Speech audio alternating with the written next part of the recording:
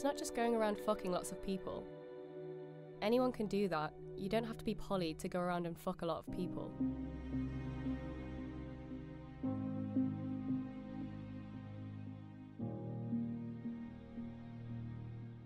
This idea that you must be the only person that your partner loves, otherwise it's not real or romantic.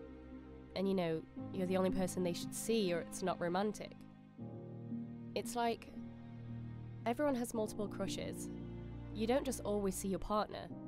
It's idealistic and romantic and stupid, and I love romance, but that's a different kind of romance. That's a very unhealthy kind of romance. Personally, this is where monogamy doesn't make sense to me.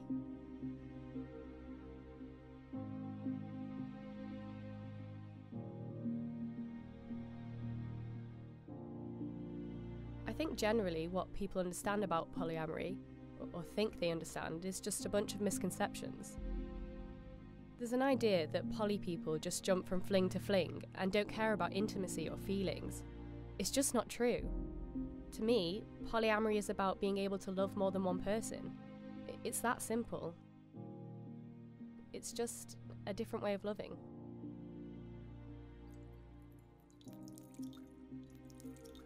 I can have really special sex with one person one day, and then have really special sex with someone else the next day.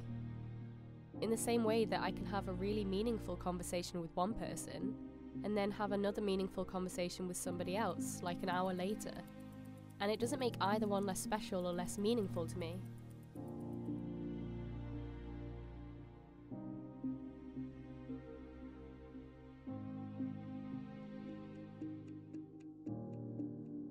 Imagine something that is so core to you and your way of relating to the world, and it's seen as something that is offensive or dirty or whatever.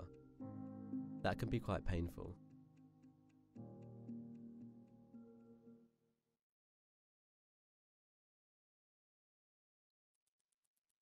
I'm always a bit suspicious of why people are so keen to tell other people how to live their lives. I don't try and convince people that what I'm doing isn't wrong. I don't see it as my job, so I try not to engage in that. Why impose your own morality on those people? Does it matter really? How is it affecting you? I think everybody's different. I don't know if there's necessarily a natural way of being human.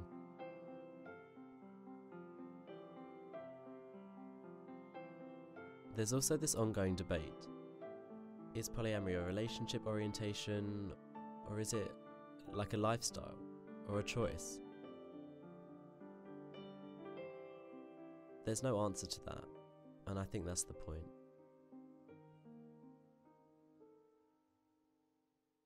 Life isn't black and white, so why do relationships have to be? I think being poly has taught me to be open to different experiences and to different types of love, and to not try and push something into this conventional box.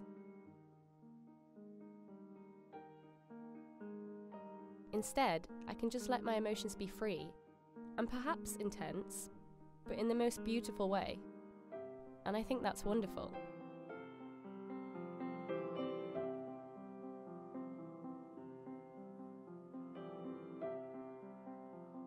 A lot of poly people I know said that the reason they turned to polyamory was because being monogamous made them feel they were putting a barrier up in terms of how emotionally connected they could get with other people.